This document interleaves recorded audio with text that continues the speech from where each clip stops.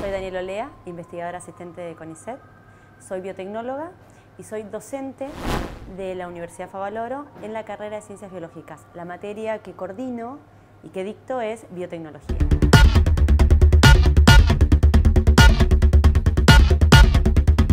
Esta materia, biotecnología, está en el ciclo superior de la, carrera de Ciencias Biológicas y necesita, y es fundamental, una base muy importante en lo que es biología molecular y celular y genética. Eh, los alumnos, al llegar al cuarto año de la carrera, tienen esa base importante para poder aplicar todas las técnicas que requiere la biotecnología. Básicamente la materia consiste en tres etapas. La primera parte es todo lo que es manipulación y modificación de bacterias y plásmidos y básicamente aprenden las herramientas de ingeniería genética.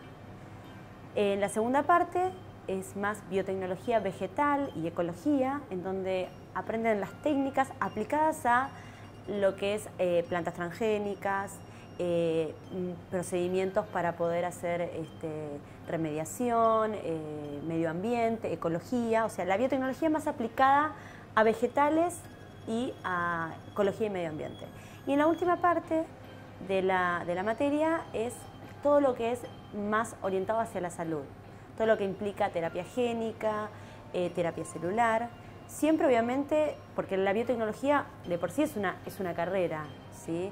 Eh, la idea es que dentro de esta materia los chicos vean todos los contenidos y herramientas para poder aplicarlo en las diferentes etapas o en diferentes áreas que tiene la biología general. ¿no?